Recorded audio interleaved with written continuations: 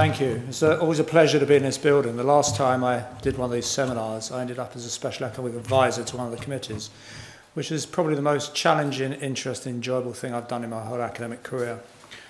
The title of this is Making Sense of Brexit's Challenges to Economic Citizenship.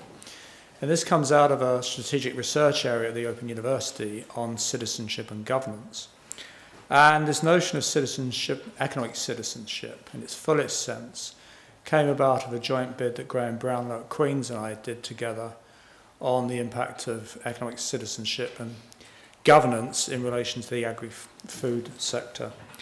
And Graham and I are doing a double act to the Sunflower Pub as part of the SRC Festival of Social Science in two weeks' time. Um, and it's my favourite pub, and um, I hope you can come along. Okay, so that's uh, good. Right, well, I thought um, I was recently on holiday in Croatia, and we had a, a, a really nice apartment overlooking the old city. And there's this boat, one, this old boat or copy of a boat, sailing around the harbour every night. And I found out it was part of the Game of Thrones. Um, and you could argue that the Brexit negotiations so far are a kind of Game of Thrones. Um, and I'm sure someone will write uh, an analogy at some point. The other thing that's become interesting to me in the research I've been doing is the way in which um, I used to hate law as study, not because of any personal dislike, but I had a friend who was originally from Northern Ireland who was blind and he was um, training to be a barrister. And I recorded some of the books for him. And I, and I thought, This takes such an effort, learning all this stuff and absorbing it, then you can interpret it. But I think what has come out of Brexit is the connections between the economic, the political, and the constitutional. And I was given a paper yesterday by uh, on a British Academy, Royal Academy, by um, Colin McCrudden, is it? Who's at Queen's. A very good analysis of the Good Friday Agreement, but with the economic implications and economic citizenship. Now, It's huge transaction costs, which is the cost of doing business. There's 494 treaty changes, 12,000 product regulations to be renegotiated, and 6,256 World Treaty Organization tariff lines to be negotiated with. This is just for fisheries and agriculture. Now, for Northern Ireland as well as um, the Republic, it's most complex and challenging. And not well understood by UK government, policymakers, or the media. Um, there's such a disinterest in Northern Ireland, and I, I think this is a remarkable place, and I say often it's punched above its weight politically, below its weight economically. But this, this is a remarkable place. Um, okay, so these are the issues. Um, an edited book that David Bailey Aston and I did, uh, it came out in April. Um, and it has various issues. But the issues I have been investigating and want to continue to look at, and it's a paper that Graham and I are trying to finish off, is the Brexit trade deals is what is called club goods. I'll explain that. The key impacts, an all-island single market, which exists and has a, a number of constitutional and political issues over and above the economic issues. The border paradox for agribusiness, challenges and the special status of governments. Okay, the idea that the um, comes from a, a club goods, it's from the uh, work of James Buchanan, and the analogy is a sports club. And if you go if you go to my local gym on a Monday night, it gets very packed, so you have to hang around to watch the machines, which defeats the purpose. So although it's a collective membership that you pay a fee for, you get the the collective benefits, but you get up to a point at which you get congestion. And my argument is, well, actually, a lot of the trade deals on offer, um, which, we're, which are apparently going to happen very quickly, we are told, um, you hit economic congestion fairly quickly compared to EU membership. And we're working on evidence to, sh to show that. Now, so there's the uh, and again, in, and when you get to that congestion point, you will get greater transaction costs. I mean, I do find it extraordinary. I was in 30 years as an academic, spending a lot of time in meetings. I thought if Martians came down here and looked at human beings and how much they spend time in meetings, they would just get in their spaceships and go off um, and uh, not come back. And similarly, um, I've been watching the evidence on the Northern Ireland Affairs Committee uh, about the border problem. And some really, some, you know, the, the, the, the evidence given by the witness is very good. But what's the extraordinary amount of time that, should we say, some of our elected representatives have, have spent completely misunderstanding or um, not even wanting to understand these issues. And it's this kind of endless transaction costs, the cost of administering government, but also the cost for business. Excuse me. Now, like most academics, I'm very good at stealing other people's ideas. And this came from a report by the research service here, which is a really good report on all the trade deals. And what I did was just adapt it as the different club goods on offer and that table. And, and these obviously are available. And if you would like um, a fuller version of this, and there's actually a version of this in the chapter in the book on the political economy of Brexit, which I did, which is um, a, about the impact on Northern Ireland. So there's some you can you can actually see what the financial contribution, the influence of, of rules are, and what kind of benefit there may be there to um, agriculture and fisheries. But the fundamental issue and again, I've done so many Brexit events. Last year on my birthday, I was persuaded against my better judgment by a law firm to be on a, a Brexit panel with a, um, a mystery guest who turned out to be Anne Widdecombe. Um, I accused her of being French because she claimed she was Cornish. And it was, it, it, it, was, it was interesting. What was interesting was that the way in which the local Leave campaign packed out of these events. Um, And I mean, I can look after myself. I look like desperate. I look like an aging skinhead with a desperate down chin.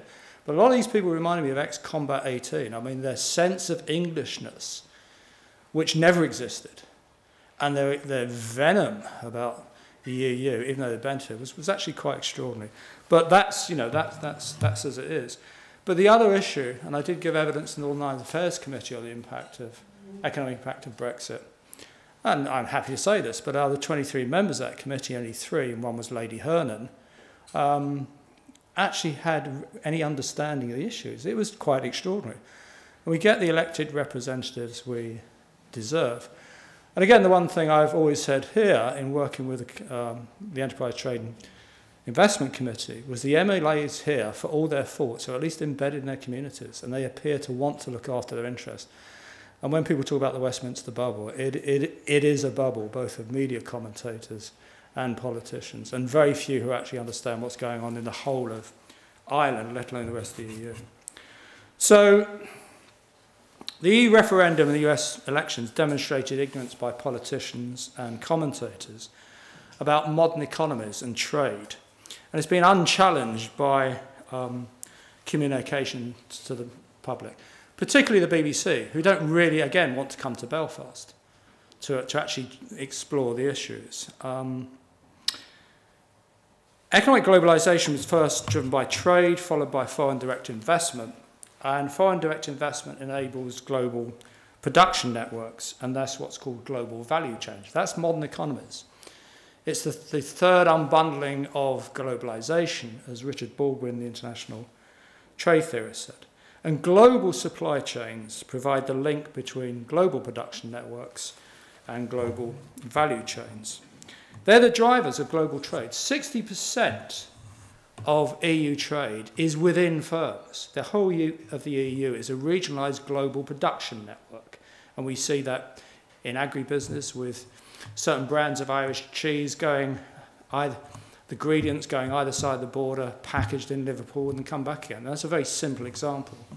There's, there's, there's others. Um, and this is just uh, an example of a regionalized production network, which is BMW's, which has expanded. They're one based in the EU, which is mainly know-how, high-tech, increasingly it'll be electric vehicles, and then serving a regional network, which is mainly, again, about the supply chains. But as you get the third unbundling of globalization, according to Baldwin, you're starting to get that know-how locally. So um, you now see uh, China is in the lead of high-speed trains um, and other kinds of other kinds of activity, where formerly it was seen as part of a, a regionalized production network, it was mainly about manufacturing. And the other one is I I was going to put Boeing up. My father worked for British Airways for 30 years, so basically I'm a plane spotter. But this just shows the A380 of, of the different countries and where it comes from. So Airbus has this European global production network. It's also linked to one in China because they build under license the A320s um, for that market. So it's not about nations anymore. And so when people talk about percentage of trade, I mean, it's, it's a first marker, but you've actually got to look at what's going in within firms that are part of these regionalized global production networks. And what these regionalized production networks do is make regional trade agreements and areas like the EU, like NAFTA, like Mercosur, like ASEAN, the basis of economic development, not just bilateral trade. Now, the Northern Ireland economy has a lot of challenges, and one of them is an over-reliance on FDI. There's a myth that the Republic became the tiger economy just the basis on tax cuts. Um, and that stimulated FDI. It's one of the great canards that politicians love to talk about. Um, the, the Irish economy really expanded when it became a member of the single market. Its market access and the size of the market. And the tax take of corporation tax in Northern Ireland, and that's going to be cut to 12.5%, is 1.2% of an already narrow tax base. It's trivial, and actually it's going to need, uh, lead to a net loss. And this is a quote from Angela McGowan, the director of um, CBI. But the, change, the challenges in Northern Ireland, the ones like in the rest of the UK, it's an issue about productivity, issue about skills, um, economic in inactivity rates, investment, and in innovation and process innovation, which is about management. And again, despite the promise of a number of the industries, this is labour productivity. And in ICT, construction and support services, two of which are part of the six matrix sectors, which are the leading sectors as the basis of the economic strategy, are actually the worst performers. But there's a, there's a long history. I mean, Graham Brownlow at Queen's, his, he gave a paper a couple of weeks ago at a seminar on industrial strategy. If you look at the economic history of Northern Ireland, it's always been bedeviled by family-owned firms that are small firms. And family-owned firms tend to be less productive, and small firms tend to be less productive. And that's, that's across uh, the whole of the UK. And that's just... Um, and they're, they're vulnerable to Brexit, and they're the, the, the sectors because there's a narrow export base in Northern Ireland economy, and that impacts upon productivity and thus its attractiveness to foreign direct investment. 58% of NI exports are to the EU, 35% to the Republic, um, and the UK accounts for 17%.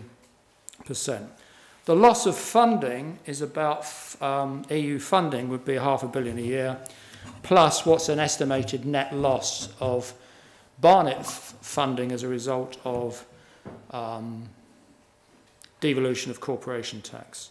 From, that's just that's a billion loss in a 27 billion economy.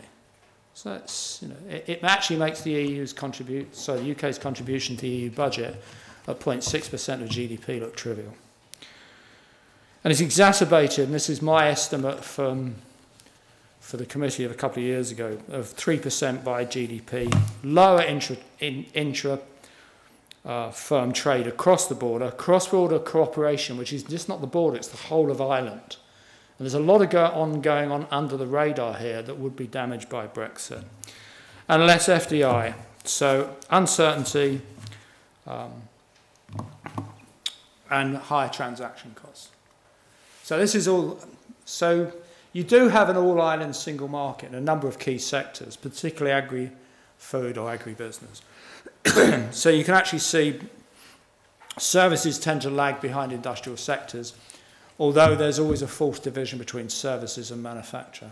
I've always asked students whether software is a manufacture or, or a service, and some say it's a service, some say it's a, a manufacturer. It's both. And if you actually look at advanced manufacturing, a lot of that is services. For example, Rolls-Royce don't make any money selling jet engines. They make money providing business and finance services. And you could increasingly argue with the um, advent of hybrid vehicles that car manufacturers are starting to become financial services firms. You've got it in mining now. I mean, it's um, VW wants to buy, uh, has made a big, um, put out a big contract call for Cobalt to, because it's going to become an all-electric vehicle company by 2020. And cobalt is, is, and lithium are the major components of batteries. Anyway, that's by the by. So if you look at all island trade, you actually see Northern Ireland has, on those simple terms, as said earlier, has a balance of payment surplus. But cross-border trade is, very, is clearly very important to both sides. Now, the trade effects, and again, I'm not looking at in intra-firm trade and, and global value chains here because it's actually very difficult to get the data. But these, these are the figures, and the export loss to the UK is nearly 10% for manufacturers, 7.5% for services. The EU is much less it's 1.36% and 2%.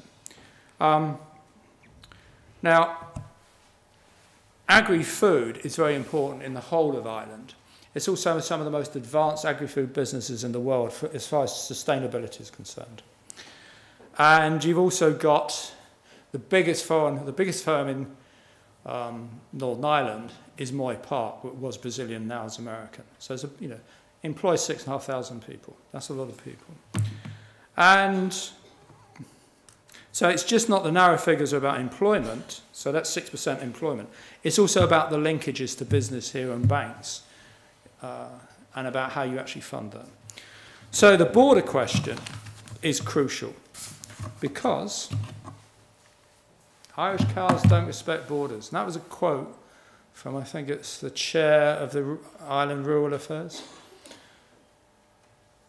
you know, because you've, I mean, apart from sort of hard border on those institutions, you've actually got cross-border cooperation on fisheries, on, and I said, a, a, a global value chain in uh, Irish agri-food.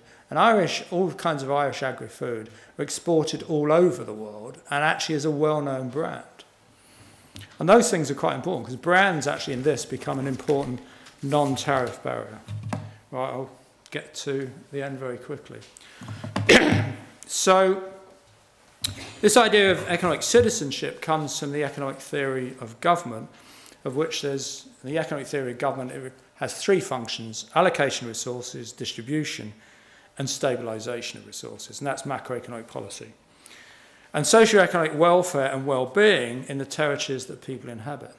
Now, the austerity governance of the EU in the last 10 years has now actually been shown to be the economic nonsense it always was. And even the OECD, the IMF, saying equality contributes to growth.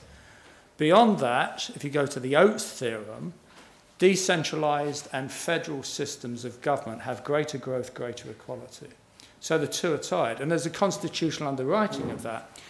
The original German social market economy is based on an economic order. As much market as possible, as much government as necessary, but there's an idea of an economic order. Now, I'm not saying there should be, but actually, if you have a constitu constitutionally underwritten economic guarantees, in a sense, and rights about equality, about distribution, about the allocation of resources, that ties a number of things together of economic citizenship and governance. And Northern Ireland is a special case, and the whole of Ireland is a special case. And anyone who denies that, um,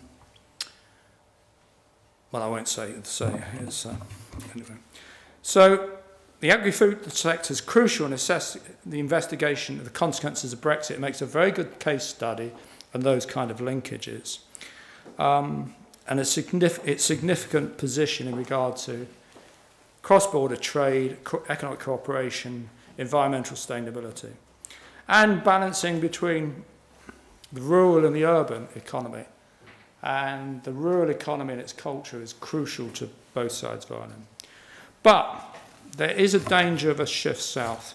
And I'll quickly show the regional imbalances. Because one thing that there was evidence given by a young sociologist at Queen's at the Northern Affairs Committee, pointing out because of the Good Friday Agreement, there's been a lot more economic development along the border on the north side, which tends to be wealthier, behead, um, than just the south. But it's actually contributed to regional, um, greater regional balance in, in the whole of Ireland because of security, because of the opportunities that opens up. and again, you can see that the two cities dominate. But although Michael O'Leary's joke about Brexit, Brexit does provide a, a, an opportunity and threat for Dublin because fintech is likely to go there. A lot of business and services associated with um, financial services, big data. And now that Airbus has come to the rescue, will Bombardier still be in Northern Ireland? So there's, there's big questions there. Um, so finally, by way of conclusion, so they're more complex, magnified versions. What kind of club good is going to be chosen from Northern Ireland? And as I said, although it's constitutionally written about rights, it still stands as the underwriter of economic citizenship and governance for the whole of Ireland. And again, that's a quote for um, uh, from, from the, the, the last sentence in the chapter of my book. And Break Bad refers to the Netflix series Breaking Bad and about Heisenberg and the Heisenberg principle. Um, but the logic does extend to the rest of Ireland in that without an all-island governance solution, damage to economic citizenship may be irrevocable. The political consequences may be unpalatable, um, but ultimately necessary. Uh, I'm not a political scientist and I'm not a constitutional lawyer, but I think there's an implication there. So a lot of the debates about customs unions and the single market and whether that should be the North Sea or should start the Isle of, Man, Isle of Man misses the point. It's it's the constitutional framing of the Good Friday Agreement and what happens and the socio-economic and political consequences that arise from that. And I think that at the moment, the, it's written, it's understood by Michel Barnier, and he understands very well agriculture. He was an agriculture minister, he's a finance minister, and he was a regional commissioner for the commission. Um, and he seems to personify the kind of differences, and as I say, the capacities and capabilities of negotiators And this is just a metaphor, again, I'm Plane Spotter. This is the Bombardier C series. Um, and if you look at all those international companies, and the weakness of the, the UK's position with regard to Northern Ireland came about with the Boeing case and the, and the Department of Justice case against the, the so-called subsidies Bombardier. Airbus has come to the rescue. The question is post Brexit, will, the, Airbus still be in the UK or will they be in Ireland? Um, I'll leave you with that thought. Thanks very much.